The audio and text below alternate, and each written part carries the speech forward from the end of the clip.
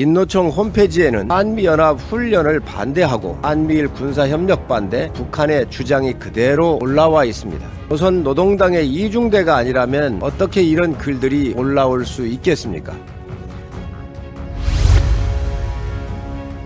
민노총이 내일부터 전국 총파업 투쟁에 나서겠다라고 밝혔습니다. 누구를 위한 총파업입니까?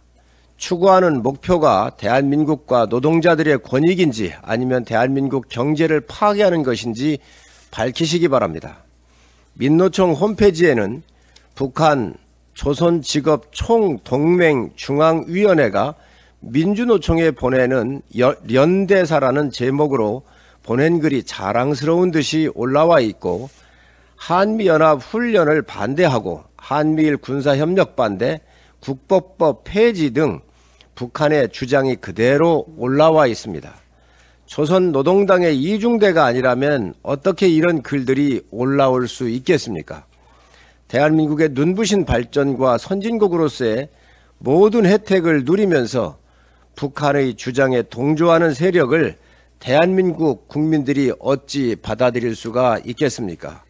화물연대는 파업에 나서며 물류를 멈춰 세상을 바꾸자라고 했는데 혈관을 멈춰 사람을 살리겠다는 말과 무엇이 다릅니까?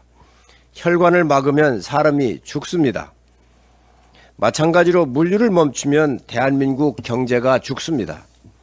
물류를 멈추겠다라고 하는 말은 곧 대한민국 경제를 파괴하겠다는 말입니다.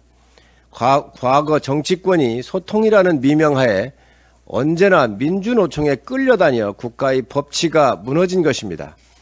그 결과 대한민국은 민노총의 공화국이 되었습니다. 떼법과 무법의, 무법의 피해자는 늘 국민이었습니다. 여야 모두 똑같이 반성해야 할 일입니다.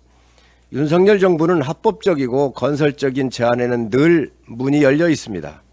하지만 불법과 탈법 또 파업에는 법과 원칙을 세워 무너진 국가의 기강을 반드시 세울 것입니다.